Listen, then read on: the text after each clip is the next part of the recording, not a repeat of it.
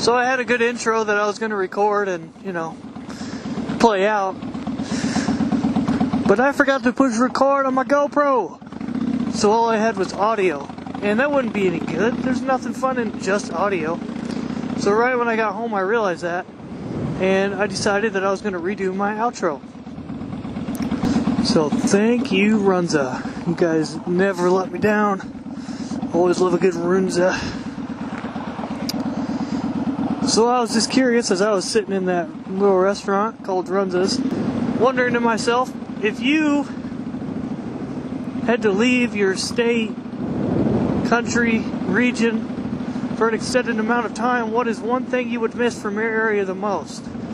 For me, it'd be Dorothy Lynch dressing. You can't get, I think you could probably get it places other than Nebraska, but it's only made in Nebraska. So obviously it's popular here, and everybody in Nebraska knows what Dorothy Lynch dressing is. And for those of you who don't, it's uh, very similar to French dressing for a salad, but it has more spices and a few other things in it. It's really super good. If you ever go through Nebraska, at least pick up a bottle of that stuff.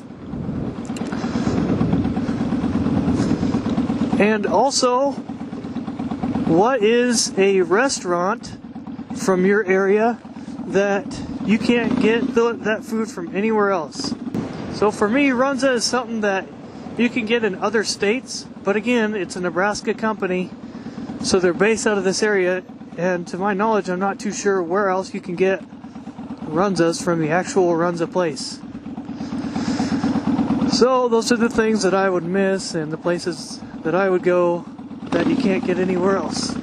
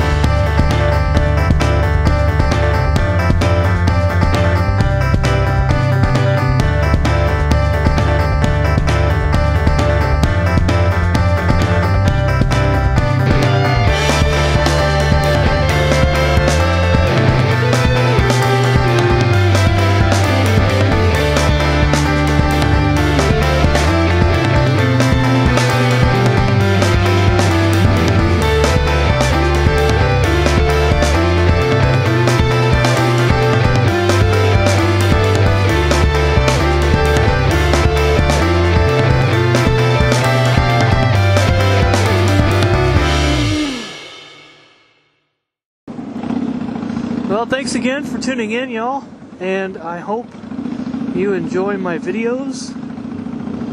And I don't know what that was all about, but I would have stopped for the guy. Anyway, let me know downstairs in the comments what you guys think, if I should make any improvements or changes to the way I do things.